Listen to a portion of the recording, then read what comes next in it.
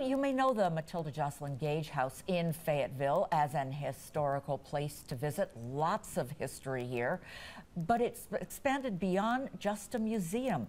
Sally Roesch Wagner joins us right now. She is the executive director, and you're now calling it the Center.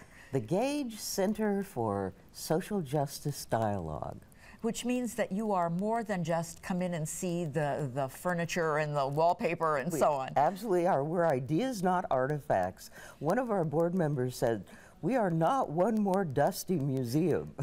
so what do people get when they come and visit you? People get self-guided tours generally, and they're able to spend as long as they want in the museum.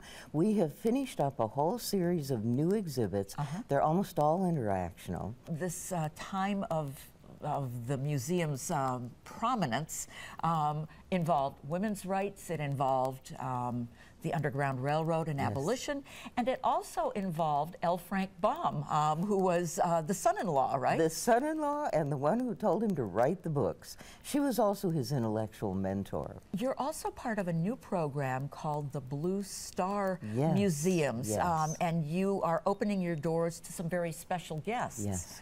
We really, Matilda Joslyn Gage was a supporter of the Civil War, as the women were. They were part of the Sanitary sure. Commission, and we support soldiers today and our armed services by opening our doors, free admission to them and their families. Well, thank you so much for the update. Um, if you would like to see it, the Gage Center is in Fayetteville. As we say, uh, they are open generally for tours. The Blue Star program includes several museums here in central New York, open to veterans and their families. There is their website.